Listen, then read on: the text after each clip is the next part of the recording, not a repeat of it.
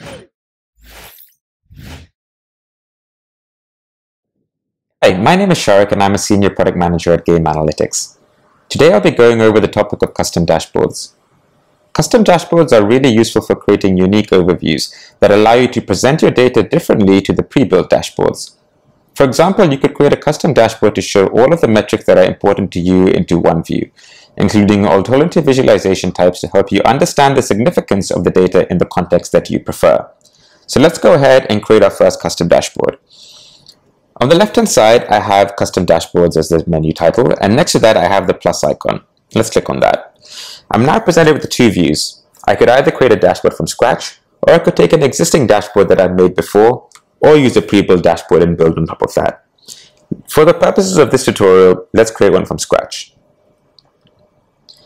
I want to create a dashboard for both player engagement and monetization metrics in one view. So I'm going to call this engagement plus monetization and click confirm. Great. Now I can go ahead and start adding my own widgets to this dashboard. So when creating a custom dashboard, I can choose to either add already existing widgets or create my own. Let's go and create my own widget firstly. I'll click on create new widget. Now I can create a widget from any of the metrics that are predefined within GameAnalytics or custom events which you may have pre-built within your game event structure. For this first widget, I want to create a widget for retention. So I'm going to call this retention day 7. I'm going to choose a line chart as a visualization. Within metrics, I can go and select retention, clear this, then select day 7, click apply.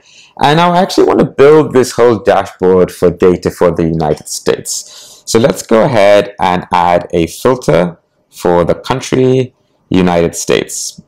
As you can see here, I also have a tab for event filters that will allow me to add filters for custom game events if I need to. And let's add this to the dashboard.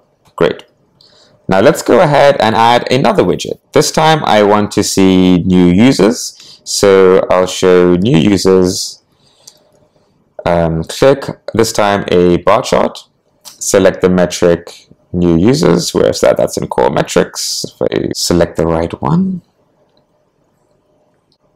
Again, let's go add the country United States and add the widget to the dashboard.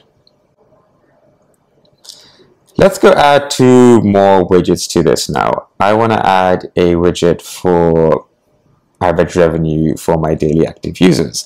So I know this widget already exists, so I don't necessarily have to go create it myself. So if I click on add existing widgets and I scroll down to the monetization dashboard, I will see ARPDAU and ARPU. So let's go and add ARPDAU and ARPU and add widgets to the dashboard. Great, I've got both of these widgets here now.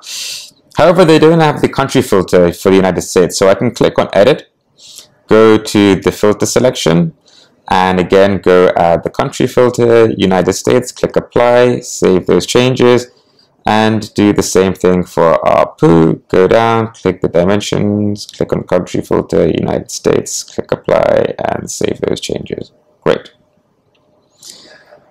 now if I save my dashboard what you'll see is that I'll have all the widgets loaded for data for the United States if I change the date picker to the month of August, you now see that retention will also be populated within the widget. And this brings an end to the tutorial for custom dashboards. Thank you for watching. By the way, there's a ton of resources on our documentation page, so please make sure to check it out to find more information not just about custom dashboards, but of all the other features we have within GameAnalytics.